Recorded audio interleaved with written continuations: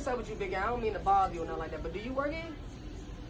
Well, work here. Don't I got a shirt on? What's up, homie? What you need? I don't know what the fuck wrong with you and all this little shit, this attitude shit you got going on. But I ain't got no attitude. This me. That's how I'm.